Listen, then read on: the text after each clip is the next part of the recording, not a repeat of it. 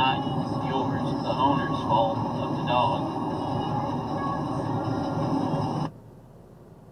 Yeah, but when people are crazy, they don't give a fuck. and when they're drunk, they're not thinking, they don't